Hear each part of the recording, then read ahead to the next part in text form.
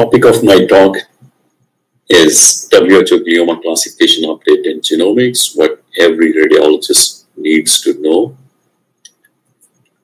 I'm going to start with showing a case over here, a 55-year-old female presenting with word finding difficulty. Uh, the initial MRI shows a non-enhancing infiltrative signal abnormality involving the left temporal lobe as well as the left insula. And if I ask my trainees usually what is the differential diagnosis, and that's what they will usually start with. You know, it could be an infarct, infection, encephalitis, and then most of them will respond by saying because it's a non-enhancing tumor, it could be a low-grade neoplasm such as a glioma. However, I want to emphasize this that this is what my impression should look like. That uh, I'm, I'm, thinking that this is a mildly expansile infiltrative, even though non-enhancing tumor. But I do think that this is going to be an aggressive tumor, such as an IDH wild type infiltrative glioma.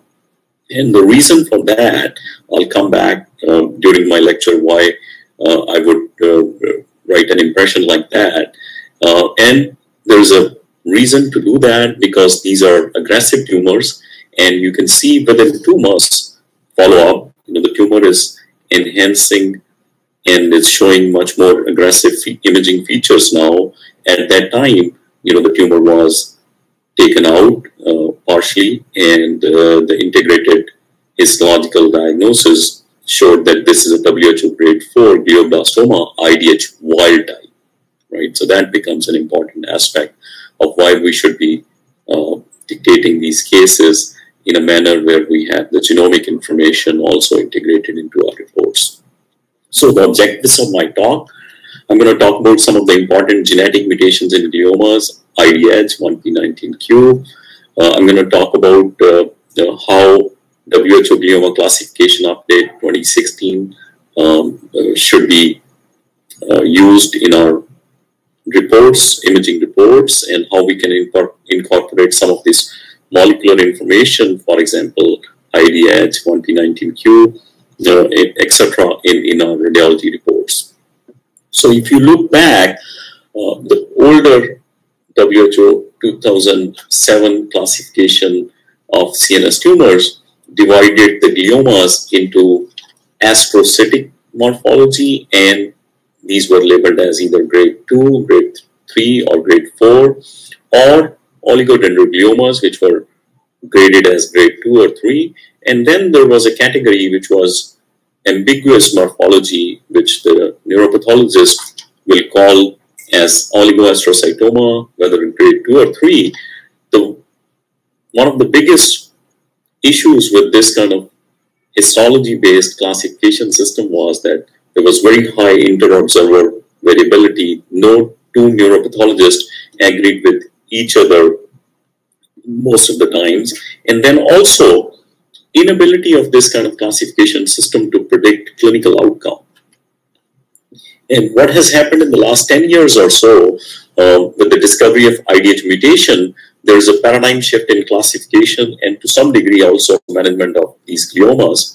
Uh, one of the earliest papers in science um, showed that if you have IDH mutated glioblastoma, um, there's a much better survival compared to IDH wild type glioblastoma. So even though you have a histological diagnosis is the same, you know, the glioblastoma, but if you have IDH mutation, uh, these patients do much better than IDH wild type patients.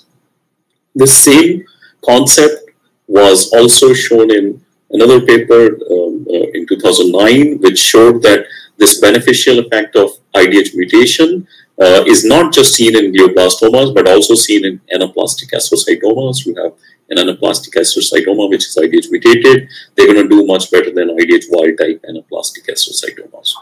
The same paper also showed that these IDH mutations, whether IDH1 or 2, they occur in majority of the lower grade gliomas. So that's one thing. And this paper also showed that majority of the secondary GBMs, they also have IDH mutation. and only a small percentage, 5% of the primary GBMs have IDH mutation. So majority of the primary GBMs are going to be IDH wild type, bad tumors, but then there is a small percentage of primary GBMs uh, which are IDH mutated, and they are the ones which are going to do uh, better as far as survival. This is another paper um, in 2015 in NEJM from the um, you know, the, the TCGA group, uh, uh, which uh, looked at lower grade gliomas, grade 2 and 3, and divided these gliomas based on the IDH mutation. So majority will have IDH mutation, and the next thing you look at is 1p19q co-deletion. And a big chunk of these tumors, IDH mutated tumors, also have 1p19q co-deletion, and these were the ones which were classified as molecular oligodendrogliomas. If you have IDH mutation but don't have 1p19q uh, co-deletion, you have ATRX, and these are the ones which are molecular astrocytomas.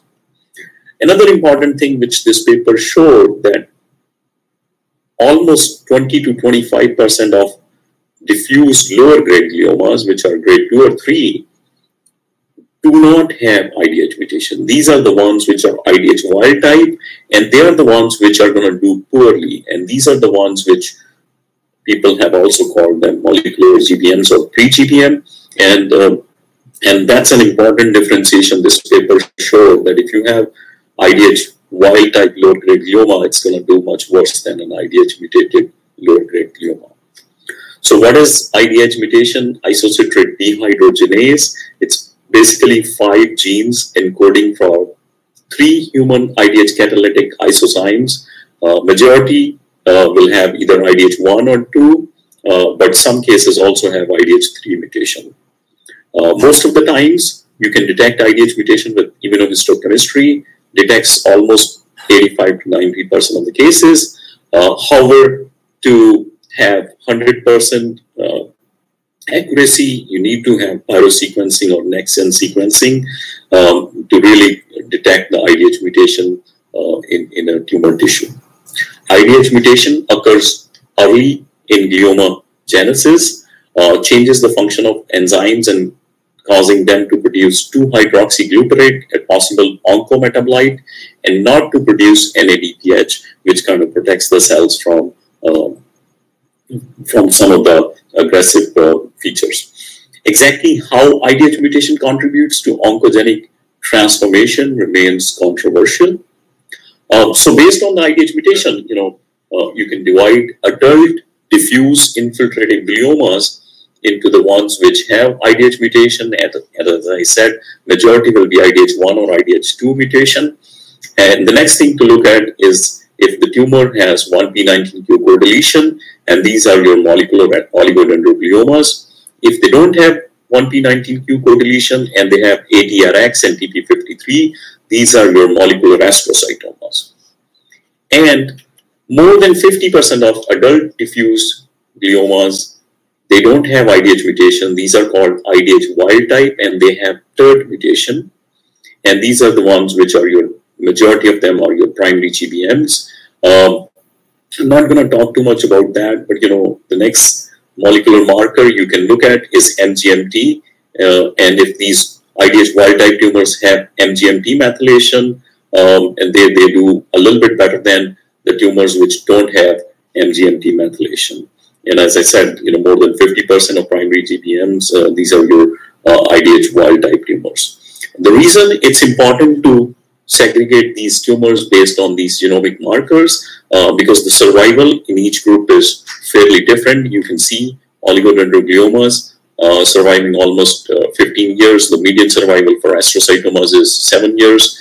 Whereas if you have an IDH wild type uh, glioma, the chances are, you know, uh, the survival is going to be much less compared to the IDH mutated tumors. And if you have MGMT methylated IDH wild type glioma, they do a little bit better than IDH uh, wild type unmethylated uh, gliomas. Another um, uh, two different groups which I'm going to discuss again, these are mostly uh, pediatric tumors, but uh, there is some overlap with the adult glioma, so I'm going to discuss that. Is your BRAF driven tumors, they have either BRAF fusion or V600E mutation, and, and majority of these are your previously called WHO grade 1 gliomas. And the, the important aspect is that these tumors usually have very good survival, long term survival. On the other end of the spectrum, there is another tumor which has been added to the WHO glioma classification update is your diffuse midline H3K27 mutant gliomas. And uh, these again occur in um, young children or young adults. And uh, the important aspect of this tumor is that the survival is really poor. And that's the reason, you know, it's important to discuss these tumors you know, along with the adult gliomas. And majority of these tumors, um, uh, these subcategories, uh, I'm going to show you how these are really clinical syndromes because majority of them uh, have, have, different age groups and the presentation is uh, is kind of also more specific to the group.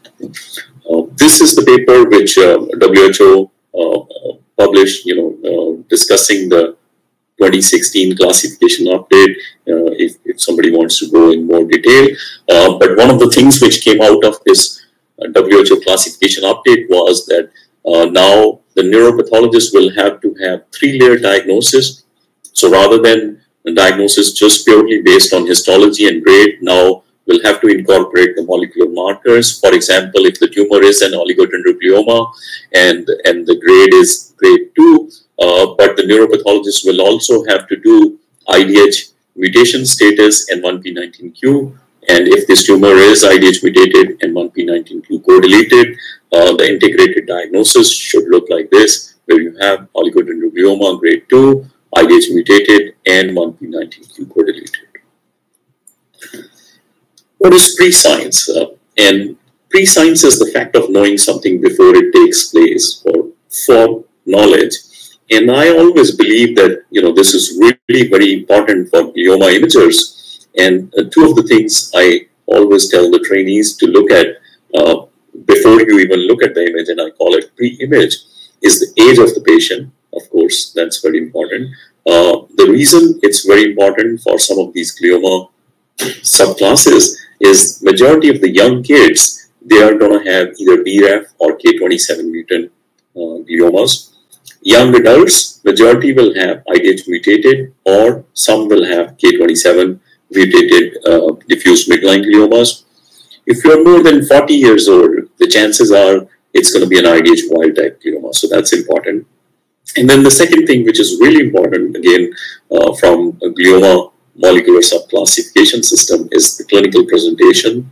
As majority of the IDH mutated tumors, which are occurring in young adults, they're majority asymptomatic. Whereas BRAF tumors, which occur, WHO grade 1 tumors, majority of them occurring in young kids, they usually present with seizures. And majority of the IDH wild type gliomas presenting in older patients, they usually present with subacute neurological deficit. And that's these are important aspects to keep in mind before you even start looking at the images.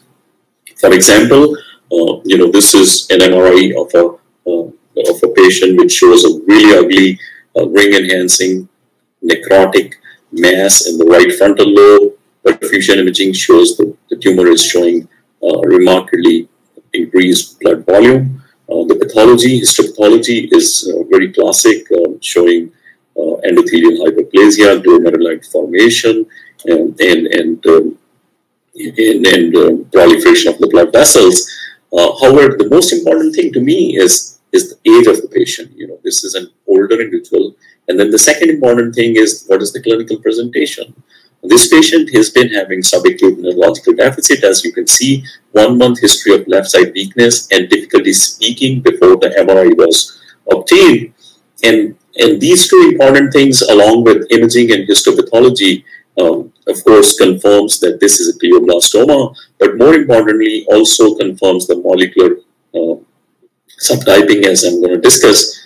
So a few years back, majority of the discussion at our tumor board used to look like this. You know, there is discussion about MRI, imaging, perfusion, histopathology, and then some of the immunostains. But now, majority of the discussion at our tumor boards uh, is kind of centered around this genomic analysis, also known as methylation uh, arrays and methylation analysis and copy number profile. where the neuropathologists are looking at how different genes and genetic pathways are either amplified or, or, or, or suppressed in, in the tumor tissue. For example, this particular tumor um, is turned out there was uh, an IDH wild type glioma, GBM, uh, also was MGMT unmethylated. EGFR was amplified, as you can see from the methylation and the copy number profile. And, and this is really uh, what makes the diagnosis as an IDH wild type glioblastoma grade 4. I consider my GBMs to be um, good, bad, and mad, and this is what I consider as a bad GBM, and we'll go to the good ones, you know, when we reach uh, the IDH mutation uh, mutated tumors uh, category. So majority of the IDH wild type gliomas, uh, these are TERT mutated GBMs. They occur in older individuals. These are three different examples over here. They are necrotic, enhancing masses, usually have poor prognosis, and more importantly, presenting with subacute symptomatic uh, neurological deficit. Another example over here is um, is 43 year old female left frontal lobe tumor. If you look at the tumor, you know there is not much of enhancement. There is non-enhancing FLAIR expansile signal abnormality. Um, there is some restricted diffusion in the medial part of the tumor and some increased blood volume also in that medial part of the tumor. However, the tumor looks very innocuous and uh, it, it, looks almost like a, a like a low-grade glioma will be. Uh, the patient undergoes um, uh, partial resection, uh, and, and the histopathology comes back as anaplastic astrocytoma WHO grade 3. But more importantly, this tumor also had IDH wild type genomic markers, so the IDH mutation was absent. And that becomes really an important feature despite the tumor looking a non-enhancing and low grade on imaging. Uh, and you can see within two months after resection and therapy, uh, there is a recurrence, nodular enhancing recurrence at the margin of the surgical resection cavity, which was resected again. And this time, the histopathology came back as glioblastoma and not just a grade 3 tumor. And you can see this patient doing poorly 11 months after um, the, the, initial diagnosis and 14 months after the initial diagnosis. Uh, the follow-up MRI showing that the tumor continues to progress and the patient poorly. Now, this is the category we, we talked about uh, from that NEJM paper, that these are your lower grade gliomas despite having a grade 3 diagnosis, but these are the tumors which don't have IDH mutation, and these are your tumors which are going to do poorly, also have been called as molecular GBM or pre-GBM uh, by various uh, researchers. And this led to WHO coming up with this uh, um, cIMPACT-NOW update three, uh, which which categorize that you know um, that you know if you have uh, a, a, lower grade glioma, for example, an anaplastic astrocytoma, uh, but if this is an IDH wild type um, tumor by genomic markers, it actually should be uh, labeled as uh, diffuse astrocytic glioma, IDH wild type with molecular features of glioblastoma, WHO grade 4. The important thing is that these are the tumors which are going to do poorly and they should be treated aggressively and, and, and almost treated as a glioblastoma from the get-go rather than uh, rather than treating them as, as lower grade glioma. Now moving on um, to the IDH mutated gliomas, uh, this is an example over here uh, a well-defined bifrontal lobe, large mass without uh, any significant edema. But the more important thing is that this, this is a younger patient, 28-year-old male, uh, clinically intact. All this patient has is headache, so there is no real neurological deficit. And, and this is, um, you know, the SWI imaging on this patient showing that this patient, this tumor is also partially calcified, as you can confirm with CT scan also.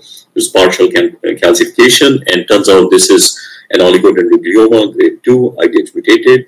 More importantly, 1p19q co-deleted, hence uh, this integrated diagnosis of a molecular oligodendroglioma. Now, molecular oligodendrogliomas, as we know, they have uh, median survival of 15 years. Um, this is another patient which was diagnosed with a non-enhancing tumor in uh, the left temporal occipital region in 2011, did not undergo any therapy. Uh, the patient was put just on observation, and you can see that the tumor uh, is, is very slowly, progressively increasing in size. And even in 2018, even though has increased in size, there is no contrast enhancement. And at that time, uh, the patient underwent resection and the tissue came back as oligodendroglioma grade 2, IDH mutated and 1p19q co-deleted. So these are you know tumors which are going to do rather well uh, despite any therapy, despite any uh, chemoradiation. Uh, you know these these tumors progress rather slowly and have a longer uh, median survival compared to an IDH wild type glioma. Once uh, these genomic subclassification uh, system kind of became a little bit more clear. Uh, in, in the last uh, seven, eight years, we have been looking at some of these um, some of these morphologic imaging features. for example, we discovered a feature, we started calling it as T2 FLAIR mismatch sign, which was published in Clinical Cancer Research in 2017. And the important aspect of this feature is that these are uh, tumors which are occurring in younger patients, clinically intact, these are uh, very homogeneously bright on T2 and, uh, and dark. Majority of the tumor is in fact hypo-intense uh, or dark signal on the FLAIR images except the peripheral rim over here, non-enhancing tumors, very low blood volume.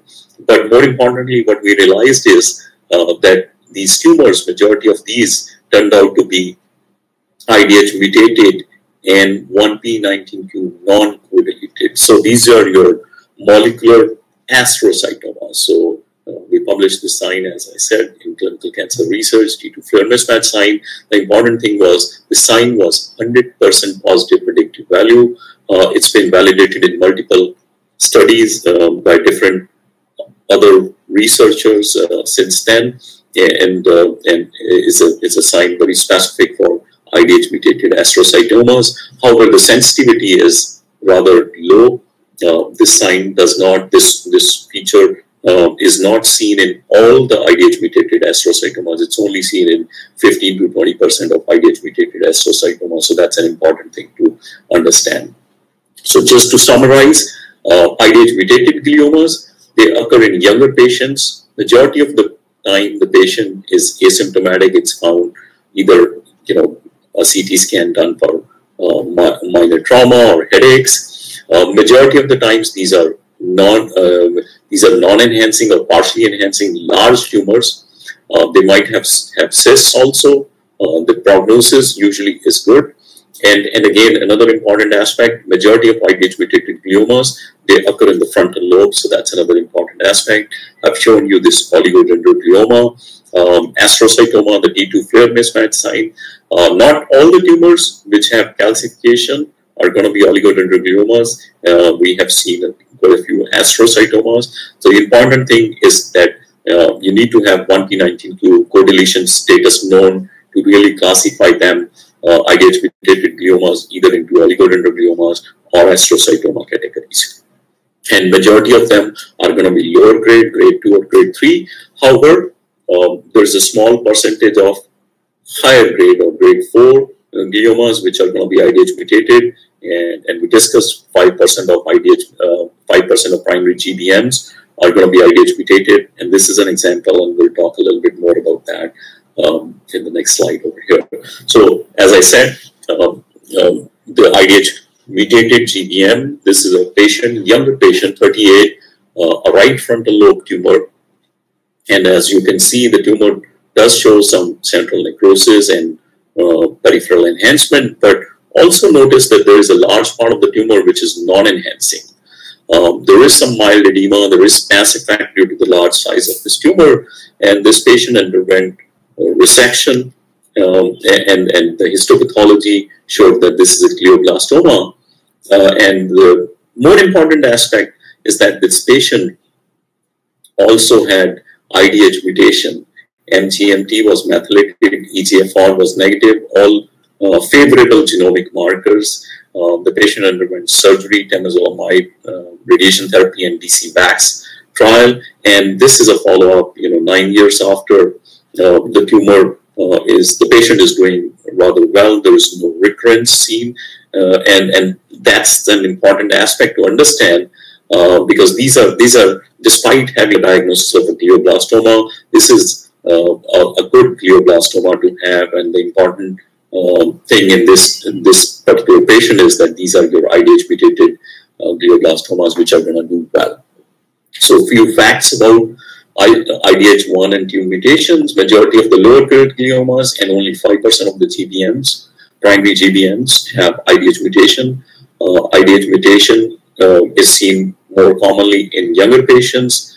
Uh, IDH mutated tumors tend to be far less aggressive than their IDH wild type grade matched um, counterparts. Uh, T2 FLAIR mismatch sign, if you see that, 100%, um, almost 100% positive predictive value or specificity for IDH mutated astrocytomas, but the sign is not seen in all of the IDH mutated astrocytomas, only seen in a smaller subgroup of around 15 to 20% of the cases. And again, another important aspect, um, uh, IDH mutation, um, uh, mutated tumors, they have a preference for frontal lobe uh, majority of the frontal lobe tumors are going to be IDH mutated tumors, especially in younger patients. Now, moving on uh, to another category, uh, which is uh, new in the uh, WHO 2016 classification update, uh, is your diffuse midline gliomas, which classically again occur in younger younger adults or young children. this is a 14 year old presented with headaches and, and you look at this uh, right thalamic tumor, which is causing some mass effect and even hydrocephalus. However, the tumor does not show any enhancement. There is no edema um, associated with this tumor, and the imaging features look fairly low grade.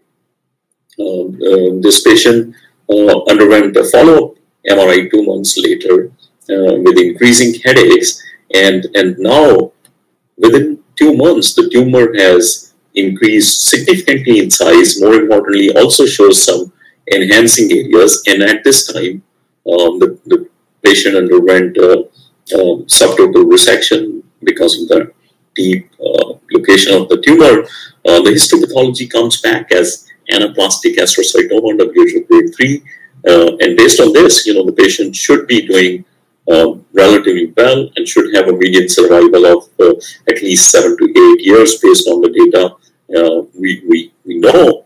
However, more importantly, this patient, um, uh, this uh, young uh, young child, actually died within a year because of very bad leptomeningeal spread of the tumor.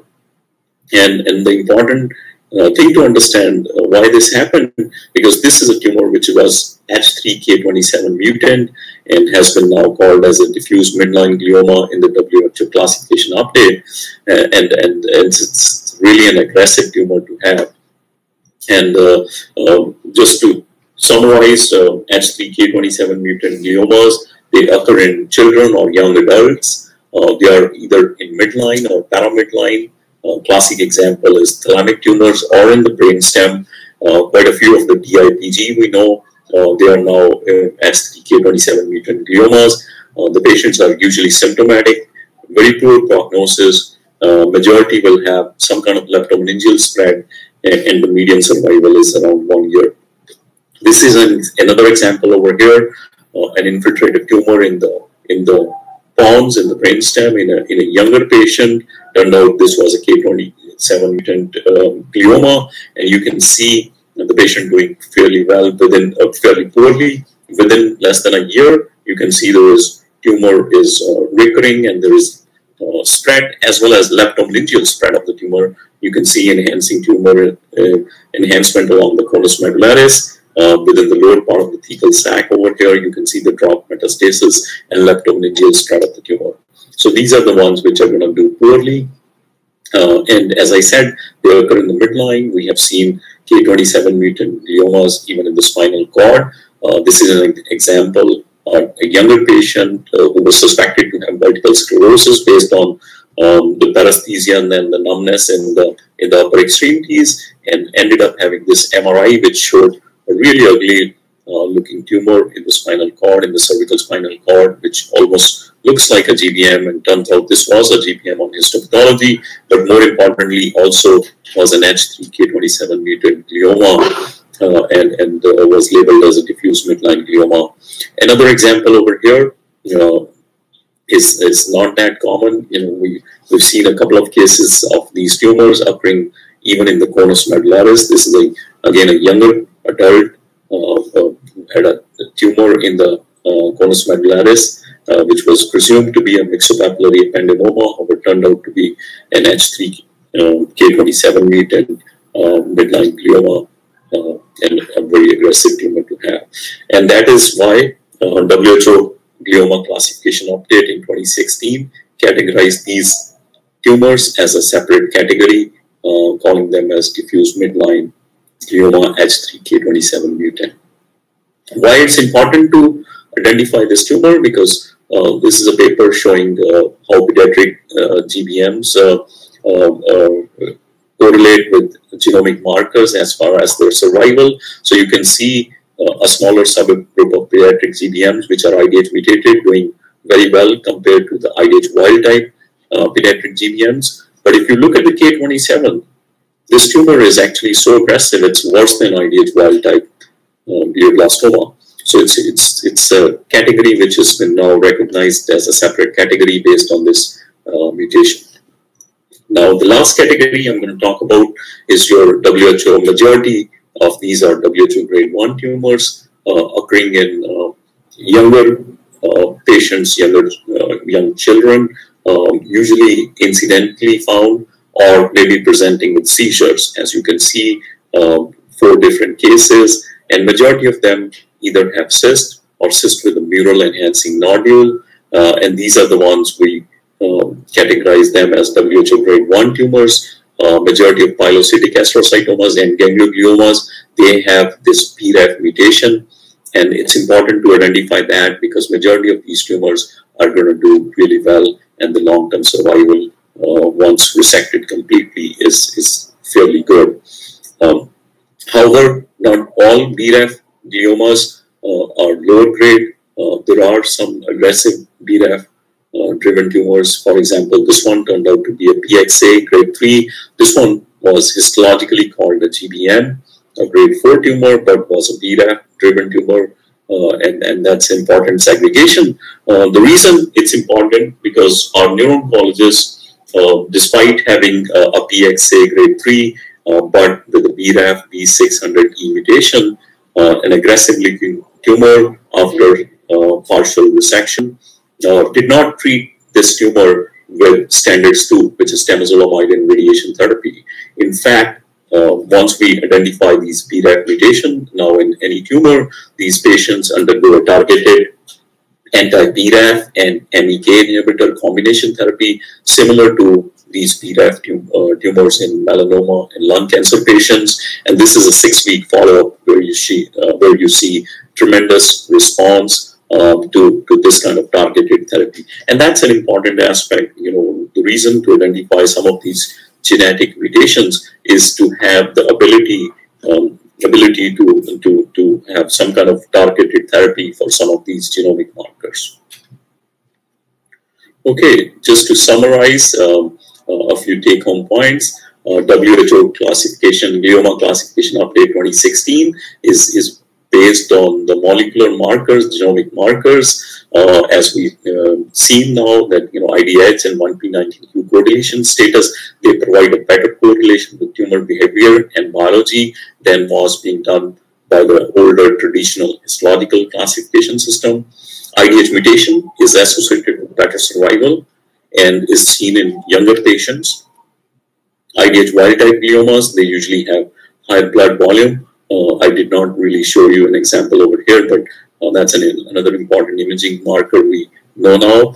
And, and, as I said, you know, these molecular subclassification, what it has shown us is that these tumors, uh, they're really not, uh, uh, you know, just can be categorized as, as a broad category of gliomas. These are actually clinical syndromes. And the reason for that is majority of these molecular subclasses they occur in, in specific age group and they have specific clinical presentation. For example, uh, IDH mutated gliomas, they occur in younger patients. They're usually asymptomatic, frontal lobe.